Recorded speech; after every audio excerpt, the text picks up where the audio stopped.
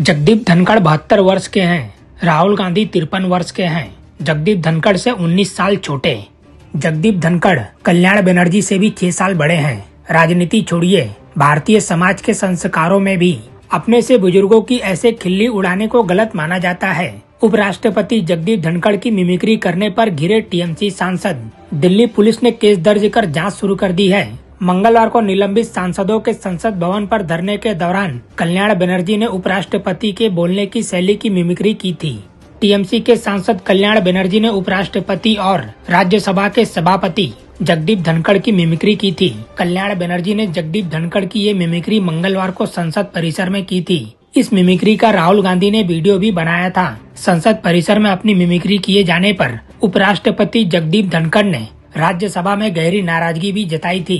और कहा था कि ऐसे लोगों को सदबुद्धि आए। अब जानकारी ये मिल रही है कि दिल्ली पुलिस ने जगदीप धनखड़ की मिमिक्री किए जाने के मामले में एफआईआर दर्ज किया है। इससे टीएमसी सांसद कल्याण बनर्जी की दिक्कत बढ़ सकती है। टीएमसी सांसद के खिलाफ अभिषेक गौतम नाम के वकील ने पुलिस में शिकायत की थी।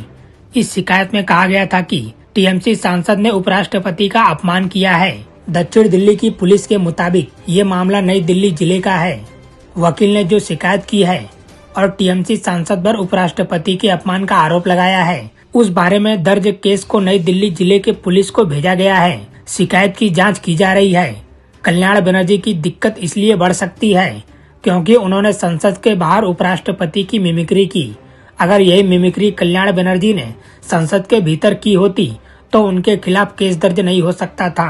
पुलिस ने अभी ये नहीं बताया है कि कल्याण बनर्जी के खिलाफ किन धाराओं में उसने केस दर्ज किया है? दरअसल हुआ ये था कि लोकसभा और राज्यसभा से निलंबित सांसदों ने संसद भवन के मकर द्वार पर मंगलवार को धरना प्रदर्शन किया था। इस दौरान कल्याण बनर्जी ने उपराष्ट्रपति जगदीप धनखड़ की मिमिक्री की थी। इस दौरान राहुल गांधी ने मोबाइल से वीडियो भी बनाया था। उपराष्ट्रपति जगदीप धनखड़ ने इस बारे में कहा था कि उन्होंने टीवी पर देखा कि सांसद मिमिक्री कर रहे हैं। राहुल गांधी का नाम लिए बगैर जगदीप धनखड़ ने कहा था कि दिग्विजय सिंह से भी बड़े नेता वीडियो बना रहे थे। उन्होंने नाराज़गी जताते हुए कहा था कि गिरावट की कोई हद नहीं है। उन्होंने कहा था कि कुछ जगह तो बक्सो। फिर उपराष्ट्रपति ने कहा था कि ऐसे लोगों को सदबुद्धि आए।